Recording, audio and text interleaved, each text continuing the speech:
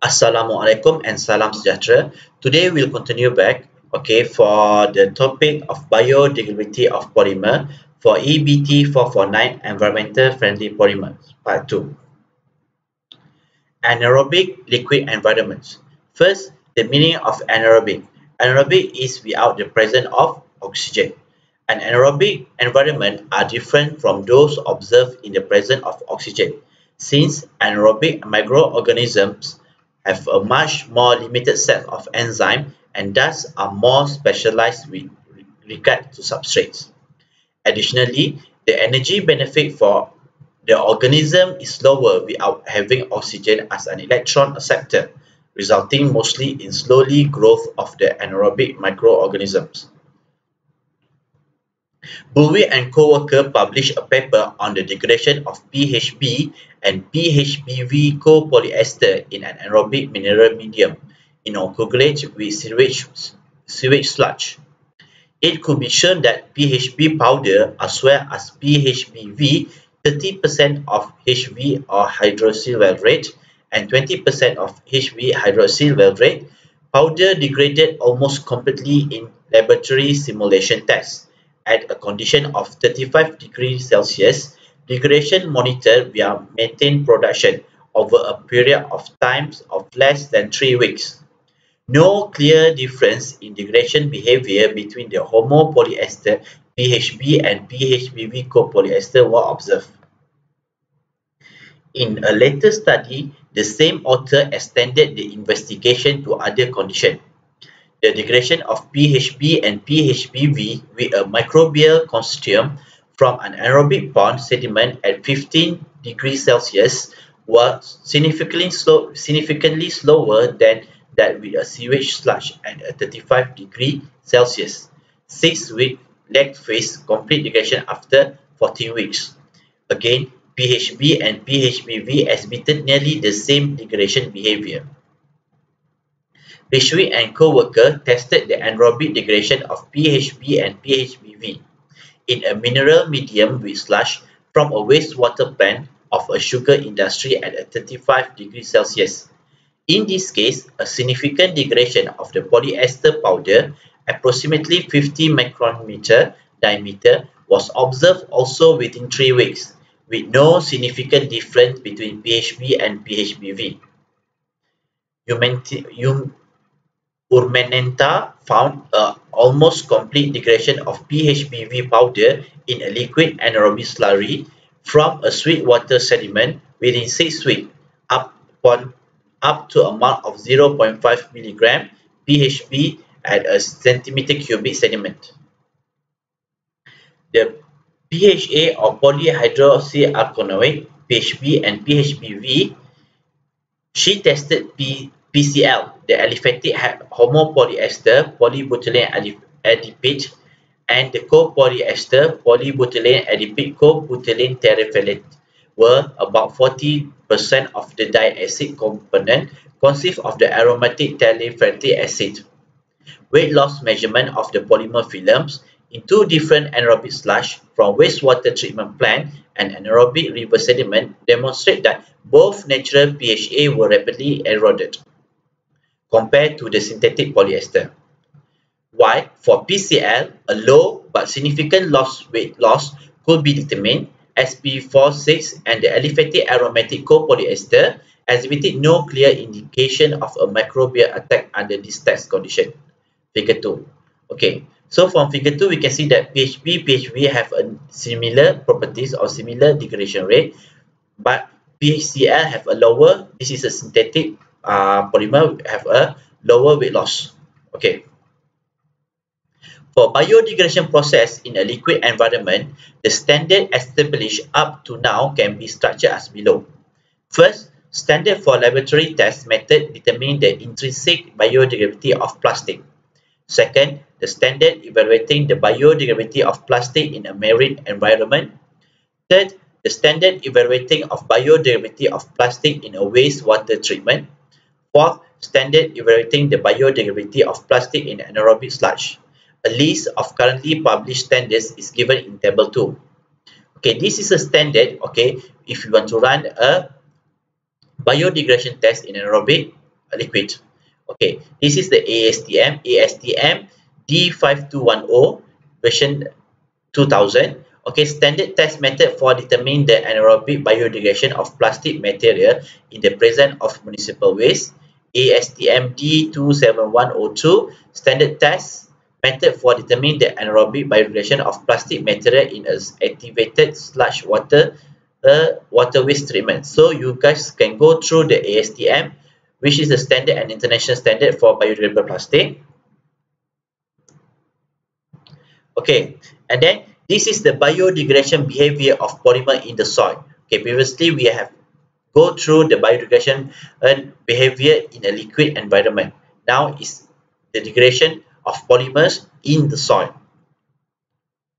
Biodegradable polymer and soils. Several products made with biodegradable polymers are not made to be disposed of via composting at the end of their commercial life, but rather to end up directly in soil.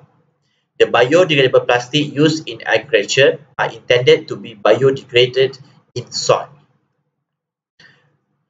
And this is table 3 is a summarize the different modes of delivery. An object left on the ground will be exposed to several climate factors such as the sunlight, temperature, rainfall, wind, and animals, while an object directly buried in soil will protected them from these factors. The factors such as the sunlight, temperature, rainfall, wind, and, and animals. Okay, the object which is being buried will be protected by. On the other hand, it will be exposed to the soil microbial population. Furthermore, forest soil, where littering mainly occurs, is very different from the agriculture soil. So the type of soil also play a role in the de degradation of this material. This is the typical entry routes of polymeric material into the soil. Okay, first is the compost application. The type of soil usually are the agriculture soil. Okay, type dimension of the material. This material will be disintegrated, partly biodegradable material. Environment is under the soil because uh, for the agriculture application, okay, this material have been buried under the soil. Okay, the main factors, the main environmental factor is the microbial because this material have been buried into the soil. When you littering, okay, for example, the forest soil, terrain along the motorways, okay, so the dimension is bulky, okay, and then the environment is the surface. Okay, if the surface of the soil, okay, the condition or the main environmental factor will be the sunlight, fauna and the microbial. Mulching, agriculture, ag agricultural soil, pieces after tillage, first surface and the second surface. Okay, the first surface is on the surface of the soil. The second surface will be underground of the soil. Okay, the surface soil will be if will be prone to the factors such as the sunlight, heat, rain, and wind, and etc. Meanwhile, for the underground, mainly will be the factors contributed by the microbial. Other farming procedures such as agriculture soil, small items used in agriculture such as string clips, mostly on the surface, pots are buried. Okay, so when the surface is still the same, the factor will be the sunlight, okay, the wind, the rain, and then if the if the material if been buried, okay, the microbial uh, is the main factors for the degradation.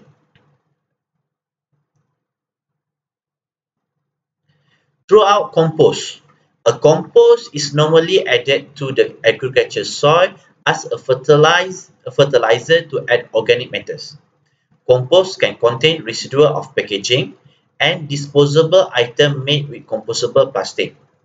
The criteria of compostability established at international level require a full disintegration of the compostable packaging within one composting cycle.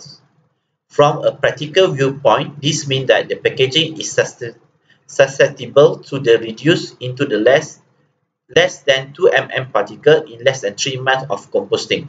This means that every composting cycle is mainly around 3 months. So, the material need to be fully disintegrate or fully dissolve okay within the three months throughout farming there is an increasing interest towards the application of biodegradable polymer to replace the conventional polymer application more and more in modern intensive agriculture techniques. Example as mulch film, drip irrigation tubes, string, clips, pots, and etc. Nowadays, biodegradable polymers have been effectively tested in many applications such as mulch film, tunnel film, string, nets, clip, planting flower pots, plant containers, control release of pesticides, herbicides, fertilizer, and pipeline for mulch. The soil environment. The soil environment is affected by several uncontrollable parameters, such as the temperature, the soil water content, the chemical composition, the geographical factors, and the pH. This is the factors okay, of a soil. All these factors joined together in different combination create different environments and strongly affected the soil ecology. As a consequence, the microbiology and the biodegradation activity can change from soil to soil and from season to season. The environmental factors active in soils can be divided into two main classes. First is the surface of the soil, second is underground or underneath the soil. The classification is linked to two phases, which typically characterize the life of a biodegradable item located in the soil. A first phase is on the surface under the action of sun and other climatic factors, and second is the phase underground, buried in contact with active microorganisms. A schematic degradation, a schematic description of these factors affecting the biodegradation of a plastic item in soil is shown in figure 3. Okay, for this time, the code for attendance will be 4479. Code for attendance will be 4479. Okay, this is figure 3, the environmental factors to which a plastic product is subjected at the surface and underground when buried and possible interaction with living organism. Okay, so this is the surface and then this is the underground. On the surface level, the factors that contribute to degradation will be the rainfall, the sunlight, okay, and then the animals. The sunlight will produce the UV or heat, okay, which will degrade the materials. Rainfall will produce a rain, which also will enhance the degradation, and then animals, okay, will chew the materials into a smaller pieces, and then these smaller pieces are easily to be degraded compared to a big chunk of materials. Meanwhile, underneath the soil, okay, there are abiotic factors and microbial population. Okay, the abiotic factors such as the temperature, the water content, pH, gases, mineral, and organic matters. This is determined by the soils. Okay, different soil have a different abiotic factors. Okay, these abiotic factors, okay, will contribute to the what population of microbial population will present different microbial population are depending on different types of abiotic factors. Okay, and then this microbial population will lead to the degradation of the polymers, and then this polymer will lead into the toxicity. Okay, and then despite from these two factors, another factors will be the animals that live underground, such as the earthworm, insect, crustacean, snails, and nematode. Surface factors the main environmental factors active at the surface and their possible effect of on polymer degradation are summarized in table 4 and described in the following pages. Okay, this is the factors which is upon the surface of the soil. Okay, the environmental factors such as light, sunlight, which is the UV, sunlight due to the heat, rainfall and irrigation, and microorganism. The sunlight, okay, will induce of photochemical reaction, okay, and then what is the consequence?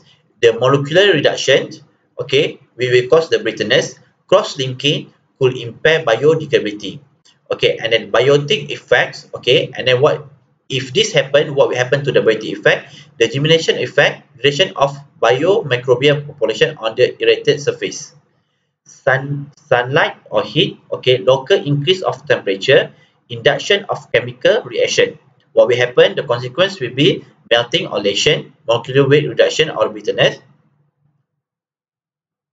And then the faster growth, activation of temperature resistance, thermophilic microbes. Okay, when they, they heat, okay, there will be a faster growth, growth rate of the microbial or the biotic effects. Okay, rainfall and irrigation, increase of water activity. Okay, the water activity will lead to the consequence of hydrolysis, which will lead to the uh, reduce of molecular weight and which will happen, what will happen with the bitterness, leaching of plasticizer, okay, and then the microbial growth and biodegradation can be begin the biotic effect.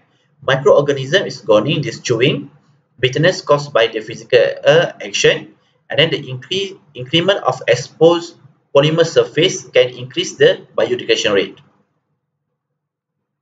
Sunlight, the effect of UV irradiation, a plastic item left, for example littering or applied mulching on a soil is exposed to sunlight. This chapter does not address the photodegradability of polymer, which is another branch in the science of polymer degradability, but is mainly focused on the biodegradation behavior of polymer in soil. Still, sunlight is an important environmental factor which can have an effect on the biodegradability and durability of biodegradable polymers. The typical effect of UV irradiation is to promote photochemical reaction, causing oxidation and then decrease the molecular weight of the polymer. Decrease of mechanical properties and possible and possibly an increase of biodegradability. On the other hand, cross reaction can form network resistant to biodegradation. In any case, it must be borne in mind that in most application plastic items are only partially exposed to sunlight, while some other parts are directly buried and not exposed to sunlight at all. Therefore, the possible effect of sunlight on biodegradability is limited to the irradiated parts only. A typical example is mulch film. Okay, this is what called as a film the farmer use. Okay, this part or we call as the part A is the part that exposed on the soil. Meanwhile, this part, the part B, okay, is the part where it's been buried in the soil. The degradation that occurs are different. This is the occurs depending on the environmental factors such as sunlight, rainfall, okay, heat, UV, okay, and microorganism. Meanwhile, the part that have been buried, okay, the environmental factors that cause the degradation are usually the microbial, which will be determined by the biotic effect of the soil as well as the microorganism inside inside this. Sunlight, the effect of heat. Sunlight causes local increase of temperature, especially in the case of black color mulch film and high irradiation levels. High temperature can cause melting and lesion of the mulch film. Furthermore, biotic degradation process can also be primed by temperature, leading to a decrease of molecular weight and causing brittleness. Macroorganism degradation Invertebrates and insects such as cricket, sludge, and snail can consume plastic as food. Mechanical damage is caused by the gawning activity of termites, insects, and rodents. Plastic susceptibles to this type of biodegradation are usually protected with insect odorants repellents. Means that, okay, to avoid, okay, microorganism, usually plastic, okay, have been added with an additive to avoid the or uh, rodents repellents, rodents such as the rats, the insect and everything. Microorganism degradation occur in three stages. First is the mastication is the chewing and then the digestion inside the stomach and the equilibrium degradation when it is taken out, taken out. Mastication results in a considerable deterioration of the physical and chemical structure of the polymer. Digestion by microorganism remove the digestible component by enzymic, mechanical and chemical action. Ecocorporals degradation involve the fate of the non-digested fissile material and orally contacted pieces of polymer. This is which is cannot be digested, okay, hence will be taken out. The main environmental factors active in the topsoil and their possible effect of polymer segregation are summarized in table 5. Okay, can, we can see that okay, there are the soil, okay, the texture and the soil, soil structure. Okay, the main effect will be the determine the porosity. Direct consequence is the harsh texture and increase of the abrasion.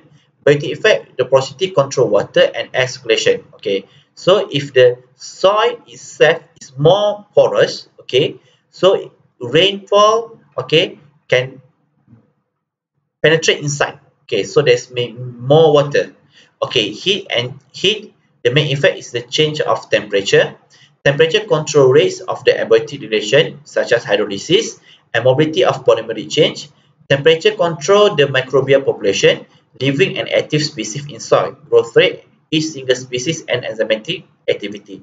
Soil composition, determine the cation and exchange capacity, CEC. Contact between the polymer and clayey soils can be difficult. Clay could have a catalytic role in polymer degradation. High CEC assure higher level of minerals, which can otherwise become limiting factors. Soil organic matters, source of nutrient CEC, better soil structure. Okay, direct consequence is a good soil structure allow a better contact between the soil and the polymer and a higher gas diffusion. SOM measure a healthy and active microbial population. Water is the water activity. Water induced hydrolysis, leaching of plasticizer. Okay, water activities control microbial growth and thus biodegradation. Too much water can cause anaerobic condition and be negative. Alkaline and pH. Okay, the main effect is the pH. Okay, the consequence is can reduce the hydrolysis, can induce the hydrolysis, the pH control the microbial population, growth rate of single species and enzymic activity. Air determine the O2 and CO2 content. The consequence is that oxygen is needed for abiotic oxidation reaction leading to decrease of molecular weight. Air control the microbial population and species. Okay, this determine whether it is rich in O2, okay, meanwhile CO2. Okay, in O2, different type of microbial, CO2 will be a different type of microbial depending on the soil. Texture. Soil texture is defined by the particle size distribution, which is the most important physical property of soil. The mineral part of soil is classified as sand, silt, or clay according to the particle size. The proportion of sand, slate, and clay determine the soil texture class. Clay are the smallest particle in soil. Slate are larger. Sand are coarse, bigger. That's all for today. Thank you very much. Thank you very much. Hope to see you again.